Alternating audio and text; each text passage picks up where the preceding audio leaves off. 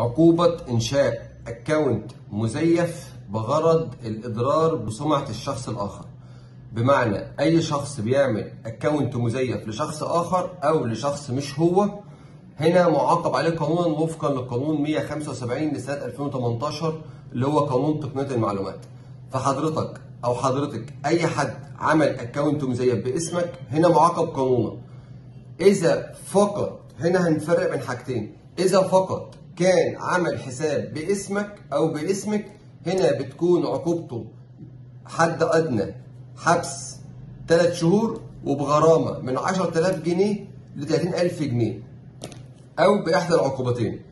أما لو الأكاونت أو الحساب المزيف ده اتعمل بغرض الإضرار ليك أو الإضرار ليكي فبتكون عقوبته هنا أشد. العقوبة بتكون من الحبس مدة لا تقل عن سنة وبغرامة من 50000 جنيه ولا تتجاوز 200000 جنيه. فالعقوبة هنا بتكون مغلظة.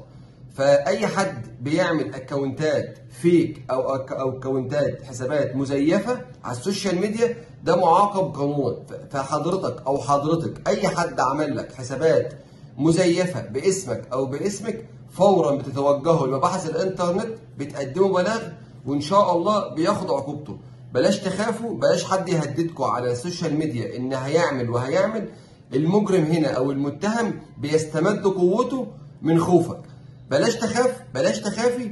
أي حد بيعمل حساب باسمك معاقب قانون. أي حد بيعمل حساب باسمك بغرض تشويه سمعتك هنا بتكون عقوبته مغلظة.